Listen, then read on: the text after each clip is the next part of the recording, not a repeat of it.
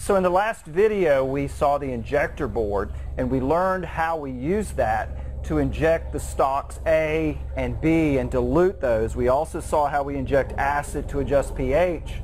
We saw how we had two different lines then that came out to the crop in order to deliver that prepared fertilizer solution to the crop. And here we have the two lines that are coming out.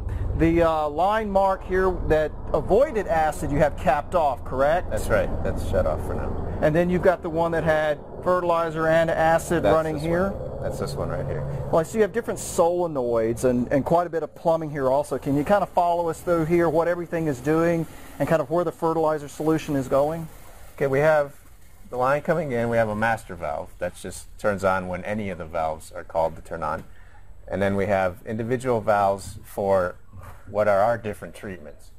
And three have three lines because we have effectively three different treatments out in the crop. And so when the irrigation controller uh, calls for the irrigation to happen, it just turns on one of these solenoids. And, al- and also the master and also the master on. valve. So one solenoid at a time will run based on an irrigation controller uh, that just sends an electrical current to turn on the solenoid. And that's So you're on off, how you're controlling is a, a, some type of a time clock irrigation controller connected to your solenoids that allow that fertilizer solution to flow. that's right. It's just a, a straight ahead irrigation controller that we set the irrigation start time, stop time, and the interval um, that the irrigation is, is on. Okay. So you mentioned on the injector board that the injectors function just by water flow. They don't need electrical power or anything like that.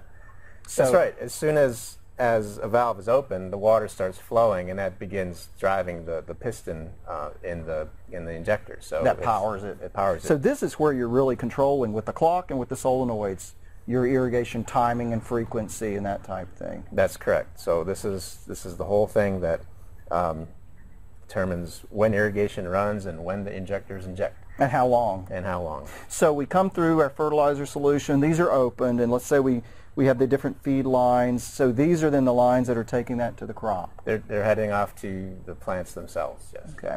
And then we'll continue in the next video as we continue to follow sort of the track of this fertilizer solution, what happens when it actually gets out to the plant, and then how we actually feed this fertilizer solution to the substrate and onto the crop.